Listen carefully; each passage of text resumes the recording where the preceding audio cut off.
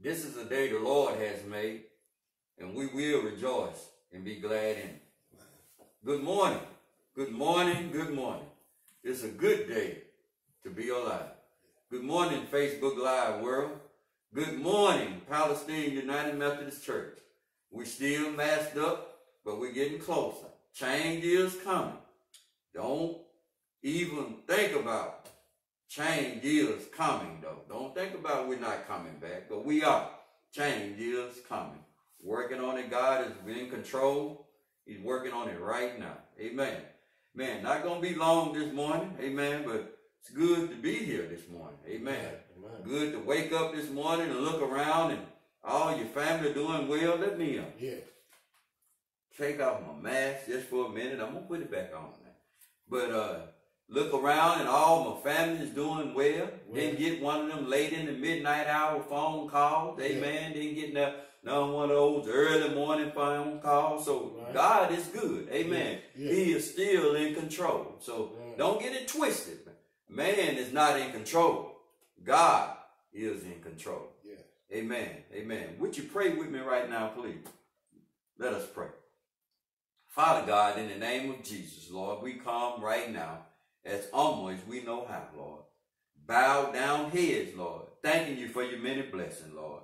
Lord, we come right now praying for Palestine United Methodist Church, praying for every church door that's open in your name, Lord. We praying right now that you touch hearts and move whatever trying to hold us back from hearing and abiding in your word this morning.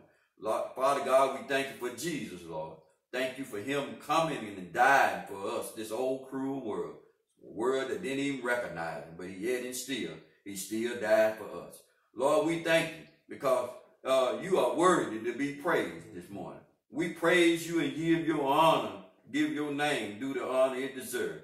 Father God, we thank you that you will cause all grace and every favor and earthly blessing to come to us, your children, so that we may always and under all circumstances, whatever we need, we will be sustained, Lord. And we thank you right now, Lord. We delight ourselves in you, Lord. We exalt you. We magnify you. We reverence you. We love you, Lord. We believe you right now.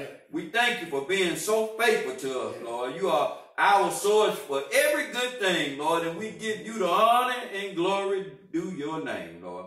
Lord, we pray for all the sick and shut in this morning, all the bereaved families, Lord. We pray for those that know you. We pray for those that say they know you, Lord, but they act like they don't know you, Lord. Lord, we praying for all, Lord. And Lord, we just thank you right now for this chance to come before your people one more time. Yeah. Remove Maurice, Lord. Move Maurice, Lord and let the people see Jesus and hear Jesus this morning. In Jesus' name we pray. Amen. Amen. Amen. Amen. We want to thank God this morning for my wife, Brother Joseph, Brother Ricky this morning. Amen. We praising God and, and thanking God for his many blessings. Not going to be long this morning, but I want to remind everyone that uh, we're still trying our uh, Google Meet uh, Bible study on Wednesday night, uh, 6 o'clock. Uh, tune in if you still got the uh, the tuning in, the what we're supposed to go in on, tune in. If not, give me a, a text, shoot me a text, and I'll send you the message back again. But we are still trying to get connected uh, on Google Meet on Wednesday night, 6 o'clock. Amen. Amen. And we also uh, still we're, we're, we're praising God for our building. Amen. Amen. We, we know that God is in control and it, it's on the way.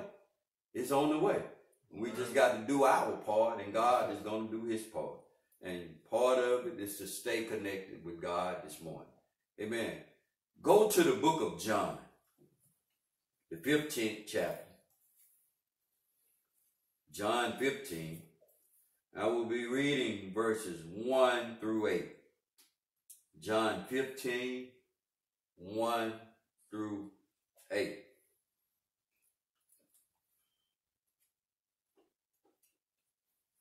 Amen.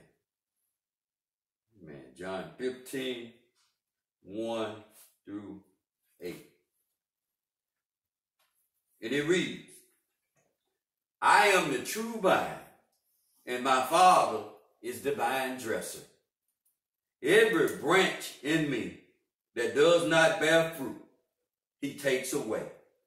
And every branch that bears fruit, he prunes, that it may bear more fruit. You are already clean because of the word which I have spoken to you.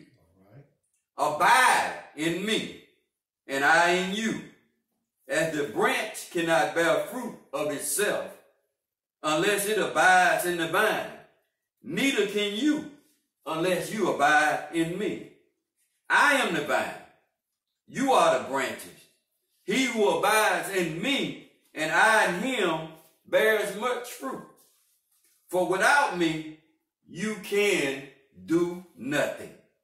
If anyone does not abide in me, he is cast out as a branch and is withered, and they gather them and throw them into the fire, and they are burned. If you abide in me, and my words abide in you, you will ask what you desire, and it shall be done for you. Let me read that again, verse 7. If you abide in me, and my words abide in you, you will ask what you desire, and it shall be done for you. By this, my Father is glorified, that you bear much fruit, so you will be my disciples. The word of God for the people of God. Want to talk a little while this morning. Uh, stay connected to Christ. Stay connected to Christ. Our greatest need as believers is to stay deeply connected with Christ. He desires us to know. He desires us to commune. He desires us to fellowship with him on a moment by moment basis. Christians write, Christians preach, Christians teach, Christians organize, but many Christians have forgotten to spend time with the Lord. The word here this morning said to abide, abide. We need a more personal communion with God in prayer and through his word so that we can grow more in the grace and the knowledge of our Lord and Savior, Jesus Christ. We need to abide.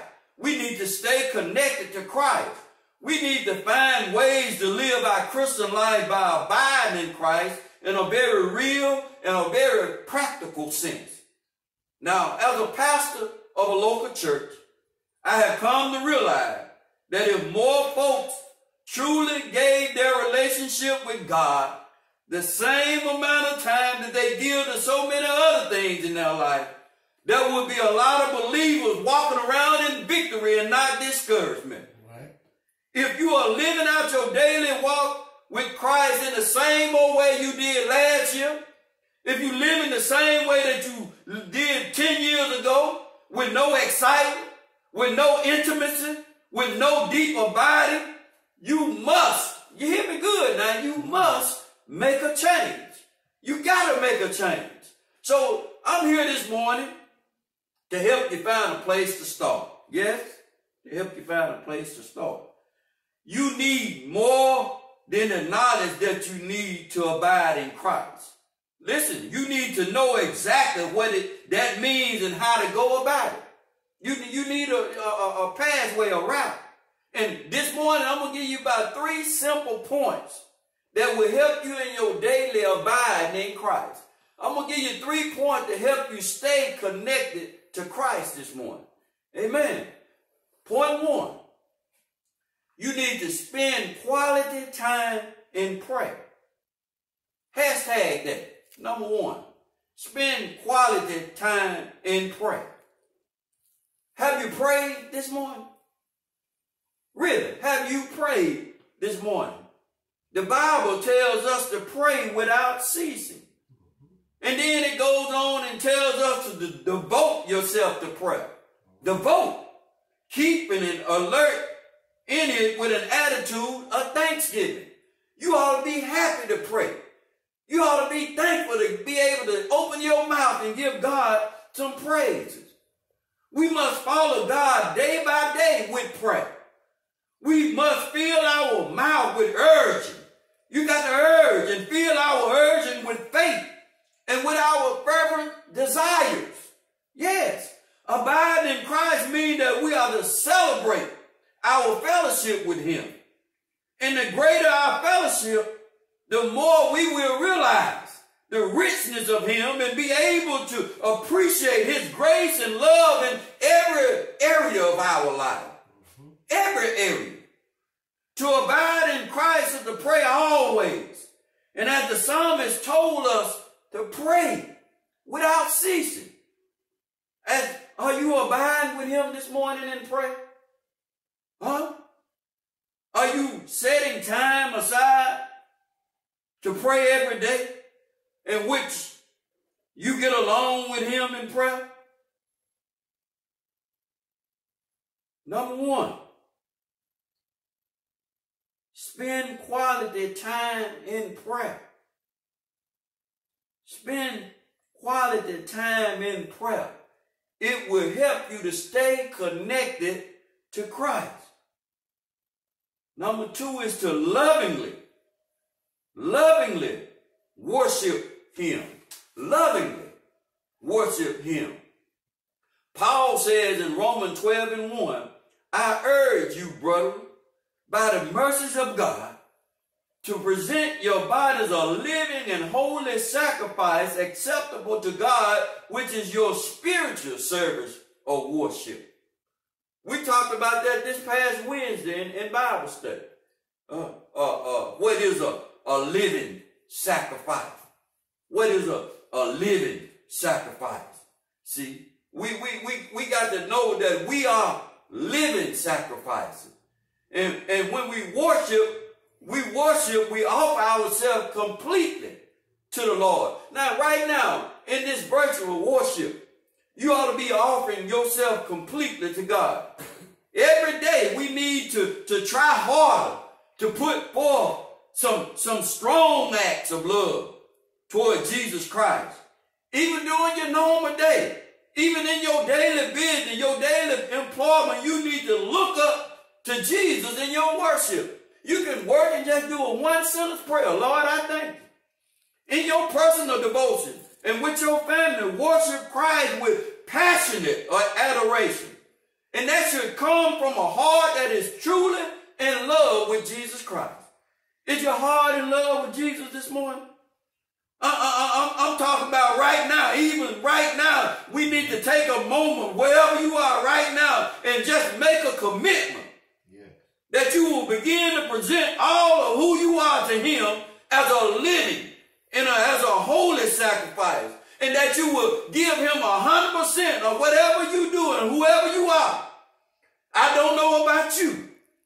I know, but the Lord sure been good to me. Mm-hmm. I don't know about you, but I can worship him right now. I can praise him right now, wherever situation I am in.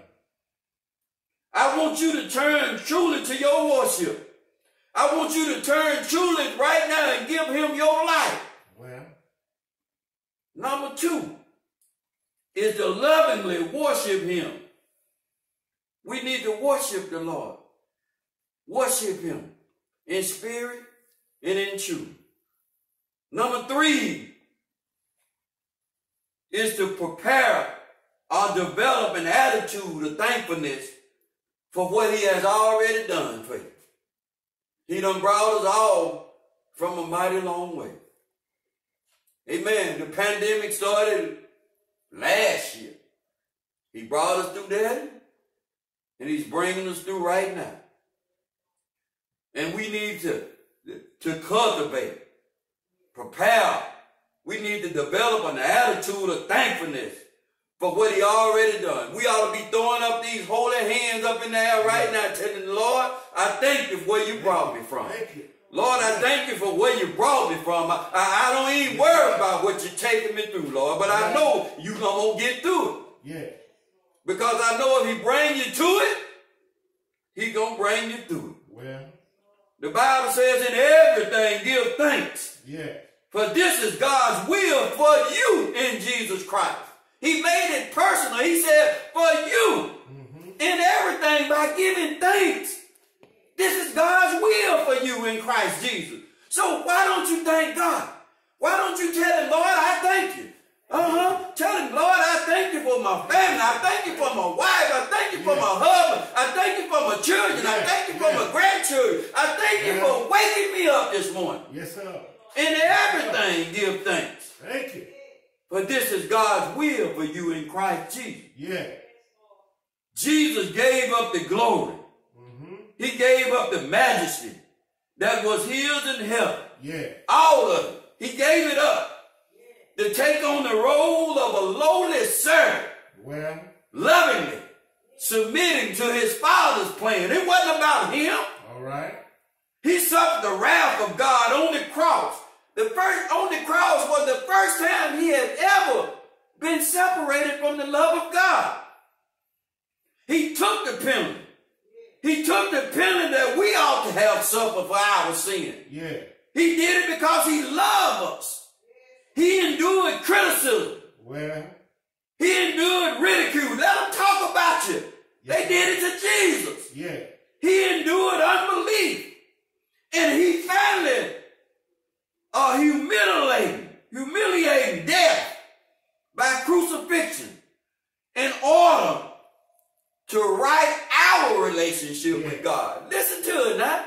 Not his relationship, but our relationship with God. Right. He humbled himself before the Father to become the Lamb of God. Yeah. And he did it so, he did it in full view of mankind. He didn't hide it. Everybody seen it. Everybody know about it. All right. He was even labeled a criminal. And then they unjustly convicted him. But guess what? He stayed on that old dusty road to Calvary. All right. He didn't leave it. And this wasn't just the brutal suffering that is depicted on all the movies. We seen how they beat him, but he went through it so much. He was fully God and fully man. He became sin. Yeah. So that we in exchange might miraculously become the righteousness of God. All right. He became sin for us so that we could become the righteousness of God. Mm-hmm.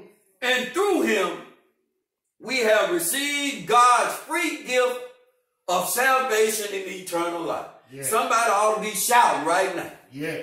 Thank you. Knowing this, Yes, sir. knowing this, how could we respond any differently this morning than to absolutely love Jesus Christ with, with incredible passion?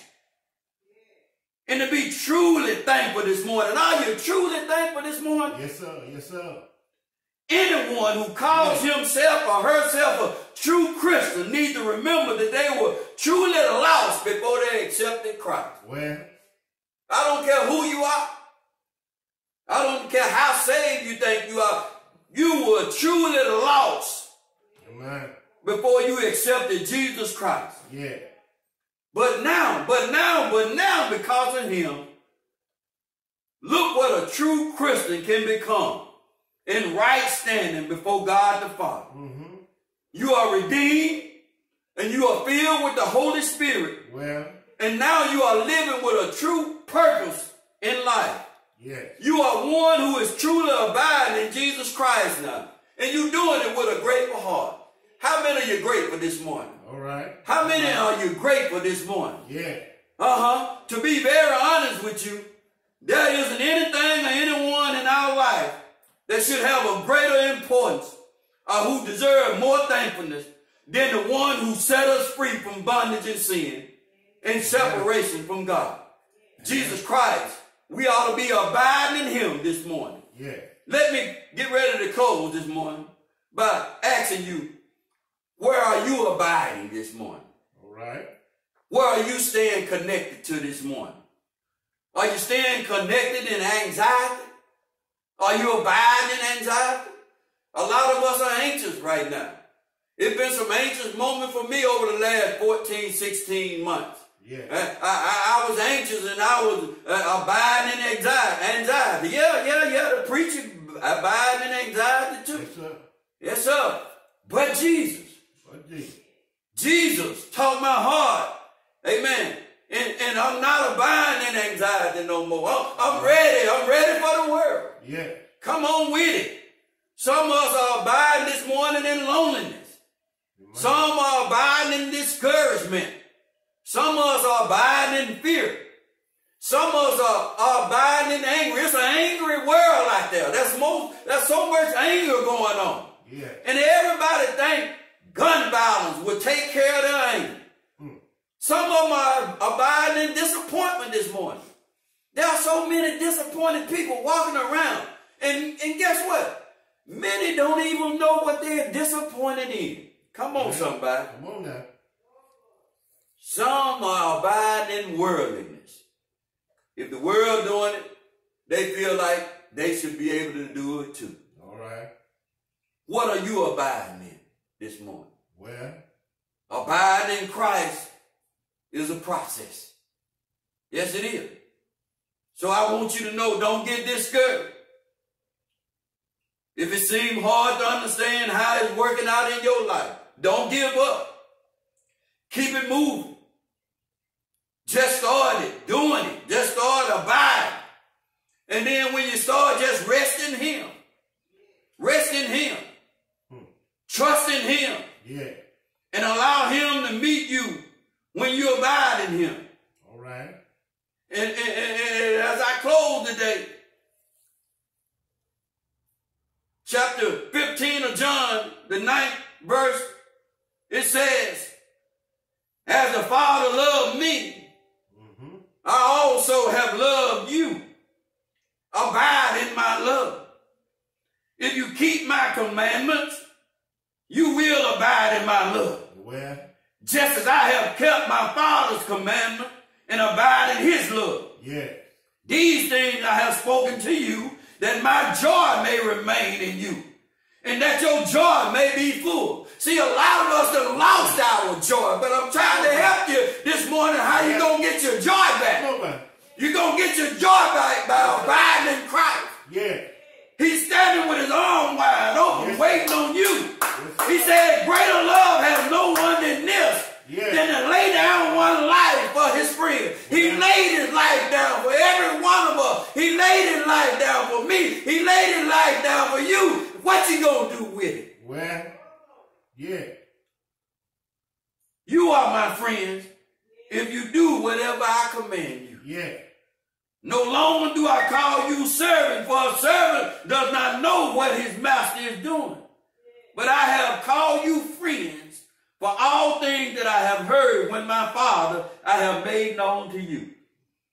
You did not choose me, but I chose you All right. and appointed you that you should go and bear fruit, and that your fruit should remain. That whatever you ask, listen now, I'm finished close. That whatever you ask, the Father in my name, He may give you.